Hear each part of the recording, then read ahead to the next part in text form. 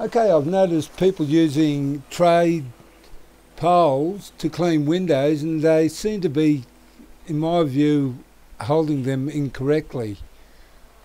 Uh, say you want to go up this high and I noticed most people tend to keep their arm right up there over their shoulders and try to squeeze it closer to the window like that and it's a strain on the shoulders as you're doing it.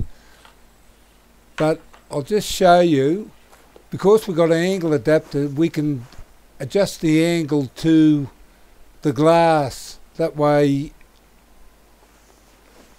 you're able to have the pole a little bit further away from the glass like this. I've got the scrubber here on it at the moment. I'll adjust it much longer so I can step back and because I've got it on the correct angle I'm able to scrub and notice my arms are nowhere above my shoulder line. Just change, get a squeegee,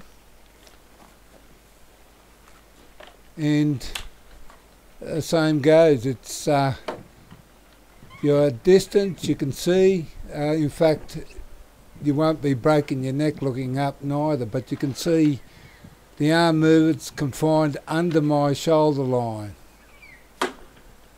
and I believe that's the way it should be done.